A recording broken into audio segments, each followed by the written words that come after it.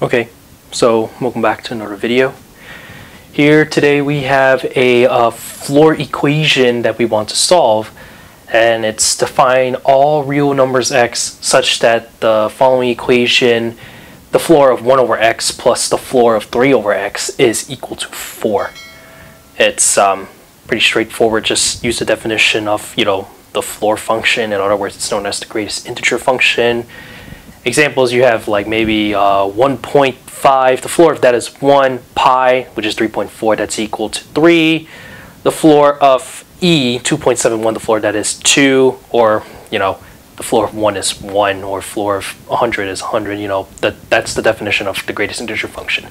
Using that property, we know that um, the floor function is equal to some integer k such that k is less than or equal to whatever the input of the floor value is, and then strictly less than k plus 1 because it's in because it is in between those integers over there strictly.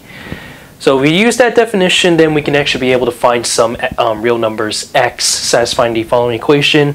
But that's um, basically the gist of it. Is um, the answer should be it has to be in a form of uh, you know inequality because we are dealing with numbers in between in order to help satisfy the following. So anyway, let's just, let's just jump right in. So let's actually make a little substitution. I'll call, um, we'll specifically this term the floor of 1 over x. Uh, we'll call this um, k. So we let k equals the floor of 1 over x, um, such, well, for k is some integer. Then by using that definition, then I would have to say that k is less than or equal to 1 over x, strictly less than k plus 1. But we also, but we also have one that's dealing with 3 over x as well for the floor function. So let's actually um, put that to the side as well. So I'll denote this as a dash that's saying that we have another one that we need to satisfy. So we just multiply 3 to the following over here. So then that will have to mean we have that 3 times k is less than or equal to 3 divided by k, strictly less than 3 times k plus 1, or 3k plus 3. Alright, so now we actually just put in the substitution back so we know that we would have k, then add this with the floor of 3 divided by x, and then that's, of course, equal to 4. But if we actually just set 3 over x, um, the floor of that by itself, then in other words, we would have that this is just 4 subtract k. So let me just reiterate that. This equal to, this will be uh, 4 subtract So using this, using this, we can actually form ourselves a little inequality over here. So we would we can say that um, the inequality. So let me switch this back to pink. So we have the following inequality over here. So we have that this will be 4 minus k is less than or equal to 3 over x, which is less than. So add this by 1. So this will be uh, 5 subtract k. So now with this inequality over here, we're actually going to um, analyze the following. So we have 4 minus k is less than or equal to 3 over x, and then 3 over x is strictly less than 3k plus 3. So we'll actually just use that and analyze the following with 3 over x. So in this case, so let's analyze uh, 4 subtract k, which we said that that's less than or equal to 3 over x. Then we also want to focus that 3 over x is less than, strictly less than um, 3k plus 3. With this, let's actually set the extreme left-hand side and right-hand side um, with the inequality, so with the comparison over there. So therefore, we would say that we would look at uh, 4 minus k is strictly less than 3k plus 3.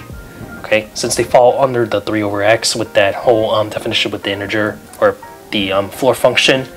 So we just solve for k. That's actually pretty straightforward. So we have 4, um, 4k, which is less than 1. I just subtract the 3, then add the, um, subtract the 3 to over here, then subtract the 4 over here. That's actually supposed to be a minus 1, so negative 1. Then we can see that this is just k is, um, well, greater than or e greater than um, 1 over 4. So we have one part of the inequality. So let's actually solve the other part, which we have that it's um, 3k is less than or equal to 3 over x. Then we also want to analyze the other part with 3 over x is um, less than 5 minus k. So let's um, pay attention to that and see what we can um, achieve from there. So we have 3k less than or equal to 3 over x and 3 over x less than 5 minus k. Apply that same te technique, so 3k strictly less than 5 minus k. If we just solve for the inequality, then we have that k is um, less than 5 over 4, okay? And if we just combine the inequalities together, everything is under 3 over, over uh, for under 3 over x we're specifically looking at, we form the inequality that um, 1 over 4 is less than k, which is less than 5 over 4.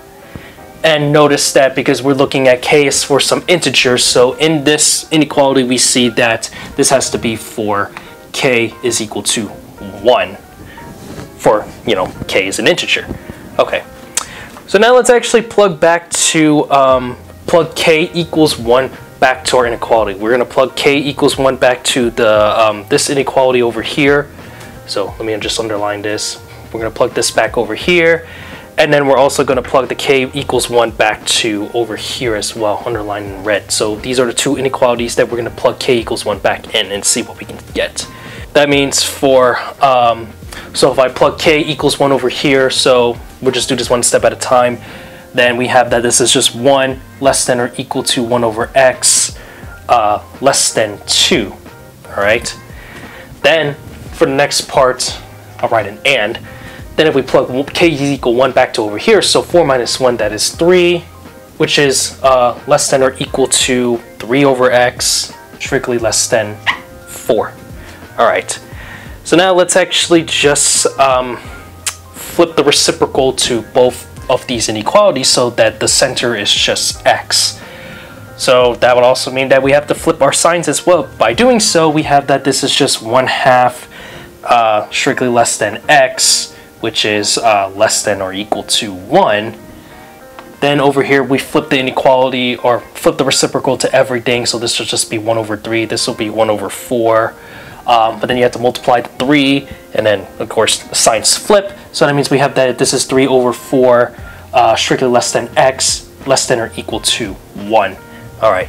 And now from here is that if we just combine the inequalities together, we have, of course, 1 half is smaller than 3 over 4, so we can just disregard this because this is also with the greater, um, less than or equal to 1, just like over here.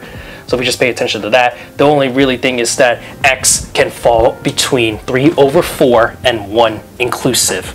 So therefore, the final answer is that um, x for the real numbers that satisfies the following. So that means we have 3 over 4 is strictly less than x, which is less than or equal to 1. And so that is our final answer. The following compound inequality that satisfies our floor equation given above. So yeah, that's uh, pretty cool if you ask me.